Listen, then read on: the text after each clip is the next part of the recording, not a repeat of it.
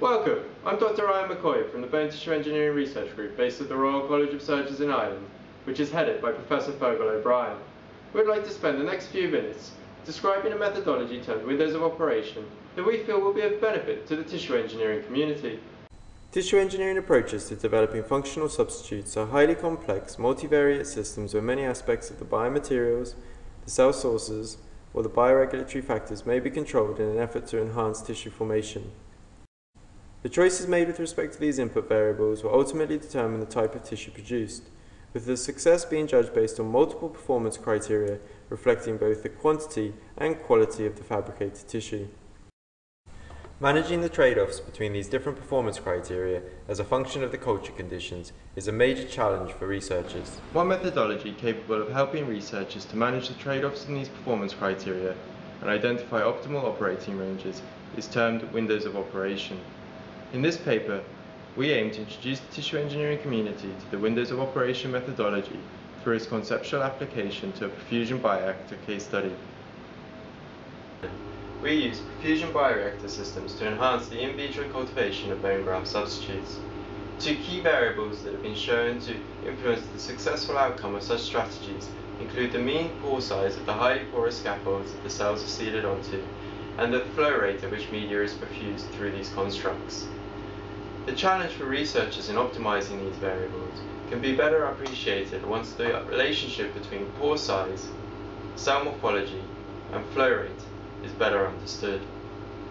In highly porous scaffolds, cells can attach in one of two morphology types. Flat, akin to 2D monolayer culture, or bridging, where the cell spans the void space of the pore. As the mean pore size decreases, it is easier for cells to bridge the void space and therefore more cells adapt a bridging morphology type. The attachment type becomes important when flow perfusion is applied to the cell seeded scaffold. Flow perfusion creates shear stresses in the scaffold that are sensed by the cells.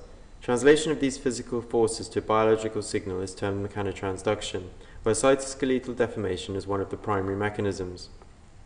At low flow rates, flat cells will experience limited deformation and hence mechanical stimulation, whilst the bridging cells, behaving like a sail in the wind, experience much larger deformations and me therefore mechanical stimulations. As these shear stresses increase further, the flat cells will begin to experience larger deformations, whilst the bridging cells will begin to exceed their maximum deformation levels and detach from the scaffold.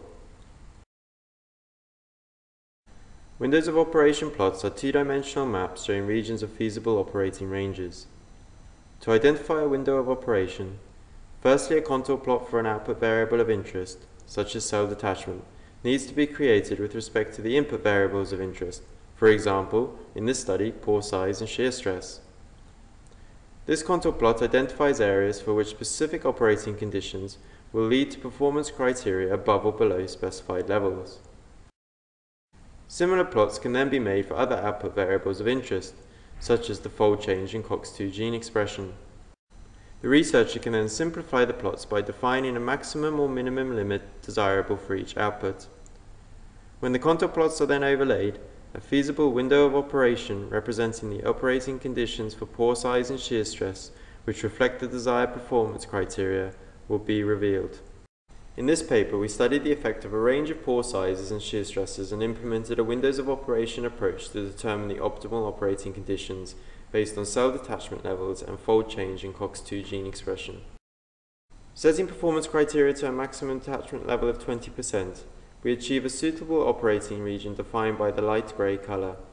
Similarly, setting a minimum increase in gene expression of COX2 to 45-fold gives us a feasible operating region defined by the dark grey region. Overlaying these plots, we are then able to determine that a small feasible window of operation, as identified by the black region, exists that allow both criteria to be met simultaneously.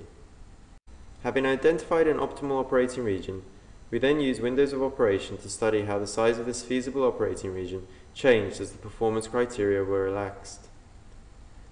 Firstly, we increased the maximum cell detachment level to 25%. We then lowered the minimum change in gene expression to 25-fold.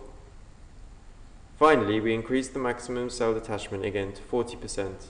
As we can see from these figures, relaxing these constraints yields increasingly larger windows of operation. We would like to thank you for taking the time to watch our video abstract and invite you to read the full manuscript on the Biotechnology and Bioengineering website.